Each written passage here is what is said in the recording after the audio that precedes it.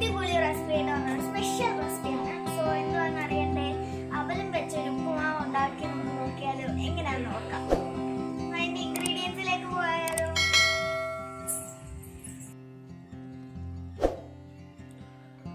പോഹ ഉപ്പുമാവ് അഥവാ അവൽ ഉപ്പുമാവിനുള്ള ഇൻഗ്രീഡിയൻസ് ഇതൊക്കെയാണ്. നമുക്ക് പാൻ അടുപ്പിലോട്ട് വെക്കാം. അതിലേക്ക് രണ്ട് ടീസ്പൂൺ എണ്ണ ഒഴിച്ചു കൊടുക്കാം.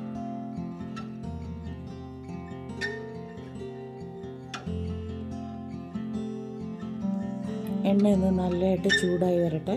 നല്ല ചൂടായിട്ടുണ്ട് ഇപ്പോൾ അതിലേക്ക് നമുക്ക് പച്ചക്കപ്പലണ്ടി ഇട്ട് നല്ലതായിട്ടൊന്ന് ഫ്രൈ ചെയ്ത് കൊടുക്കാം.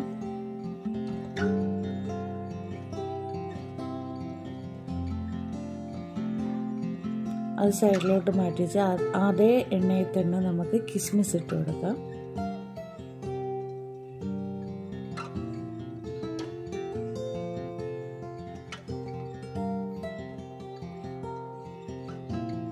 അതൊന്ന് ഫ്രൈ ആയിട്ട് വരുമ്പോഴത്തേക്ക് അതിനെ കോരി വേറൊരു പ്ലേറ്റിലേക്ക് മാറ്റാം. ആ പാനിലേക്ക് തന്നെ തീ കുറച്ച് വെച്ചിട്ട് ആ പാനിലേക്ക് കടുകിട്ട് കൊടുക്കുക. ജീരകം ഇട്ട് കൊടുക്കണം. അതൊന്ന് പൊട്ടിട്ട്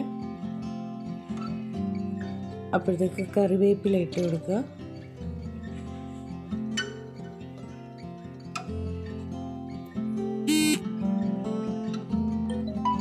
കറിവേപ്പില ഇട്ടതിന് ശേഷം പച്ചമുളക് ഇട്ട് കൊടുക്കുക. അതിന്റെ ആ പച്ച മണം ഒന്ന് മാറി കിട്ടുന്നിടം വരെ ഒന്ന് ഇളക്കി കൊടുക്കുക. പച്ചമണം മാറി വരുമ്പോഴത്തേക്ക് സവാള അരിഞ്ഞത് ഇട്ട് കൊടുക്കുക. സ്ക്വയറായിട്ട് വേണം ഇത് അരിഞ്ഞിടാൻ.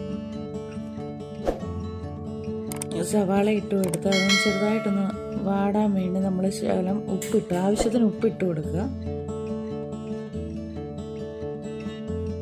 അതൊന്ന് വാടി വരട്ടെ. അതൊന്ന് അടച്ചു വെക്കാം നമുക്കൊന്ന് വാടി വരട്ടെ. മൂടി വെച്ച് അടച്ചു വെച്ച്. സവാള ഒന്ന് വാടി വന്നിട്ടുണ്ട് കണ്ടാണ്ടില്ലേ?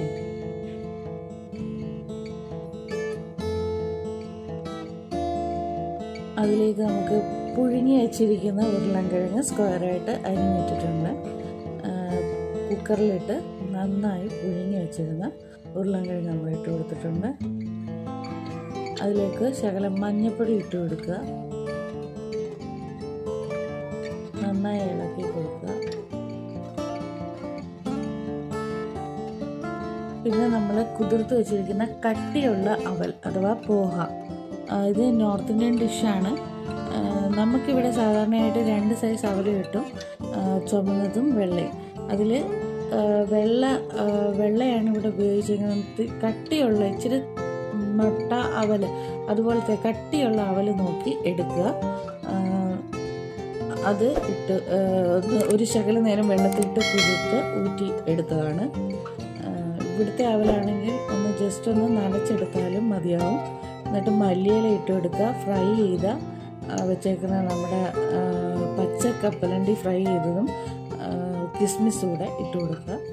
ഇട്ട് നന്നായി ഇതിനെ മിക്സ് ചെയ്തെടുക്കുക. നമ്മുടെ പോഹ ഉപ്പുമാവ് ഇവിടെ റെഡിയായി വരുന്നു. ആവശ്യത്തിന് ഉപ്പുണ്ടോ എന്ന് നോക്കുക. ഉപ്പില്ലെങ്കിൽ ആവശ്യത്തിന് ഉപ്പ് കൂടി ആഡ് ചെയ്യുക.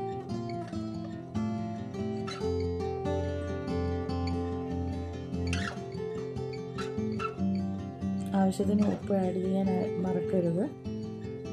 നമ്മുടെ പോഹ ഉപ്പുമാവ് ഇവിടെ റെഡി ആയിട്ടുണ്ട്.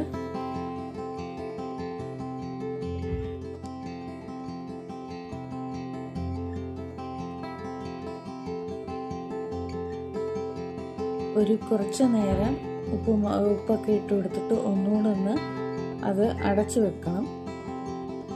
ഒരു അഞ്ച് മിനിറ്റ് കഴിയുമ്പോൾ ഓപ്പൺ ചെയ്യുക. എല്ലാം കൂടെ കിടന്ന് നന്നായിട്ടൊന്ന് ആ അവൽ ഇപ്പോൾ ഇങ്ങോട്ട് ഇട്ട് കൊടുക്കുമ്പോൾ എല്ലാത്തിന്റെയും ടേസ്റ്റ് ആവണ്ട അതിന് വേണ്ടി നമ്മൾ അടച്ചു വെക്കുന്നത്. നമ്മുടെ പോഹ ഉപ്പുമാവ് ഇവിടെ റെഡി നമുക്ക് പ്ലേറ്റിലേക്ക് സെർവ് ചെയ്യാം.